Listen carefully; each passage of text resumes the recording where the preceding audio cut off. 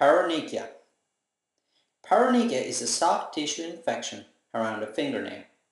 Paronychia occurs in two forms, acute and chronic.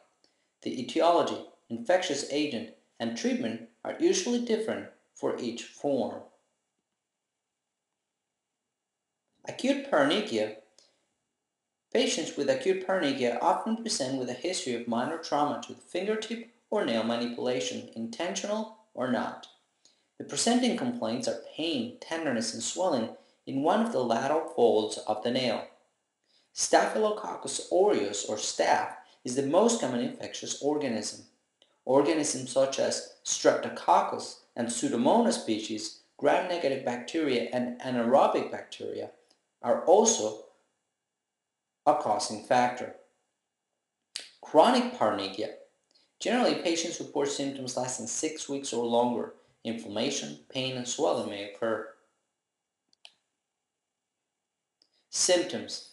The affected area often appears erythematous and swollen. In more advanced cases, pus may collect under the skin of the lateral fold. If untreated, the infection can extend into the eponychium, in which case it is called eponychia. Further extension of the infection can lead to the involvement of both lateral folds as it tracks under the nail sulcus. This progression is called a runaround infection. In severe cases, the infection may track proximally under the skin of the finger and volarly to produce a concomitant felon. The fulminant purulence of the nail bed may generate enough pressure to lift the nail off the nail bed. The differential diagnosis includes candidal infection, solitis, contact dermatitis of different kinds, herpes simplex, onychococcosis, uh, onychomycosis. The diagnosis. Fluctuant paronychia is usually caused by bacteria, therefore routine gram stain helps in identifying the organism. Potassium hydroxide 5% smears may be helpful in diagnosis fluctuant paronychia if gram staining results are negative or if candidal infection is suspected, as in chronic paronychia. Tzanck smears may be performed if herpetic Whitlow is suspected. Treatment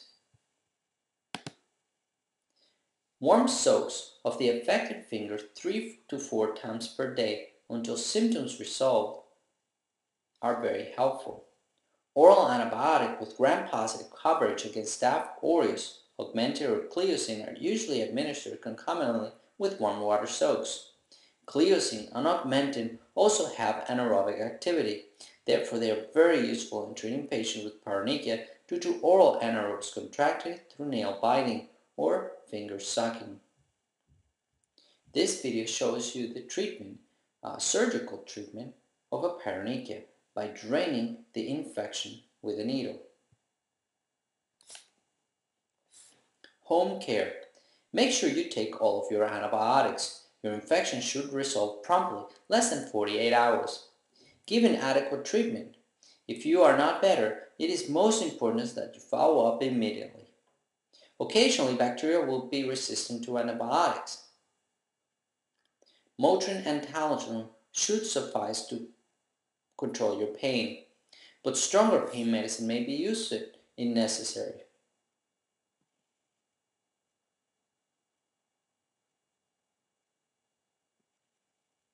Follow-up. If cultures were done, your physician needs to obtain the results and verify that your particular infection is being treated with an antibiotic that is efficacious against your particular bacterial infection.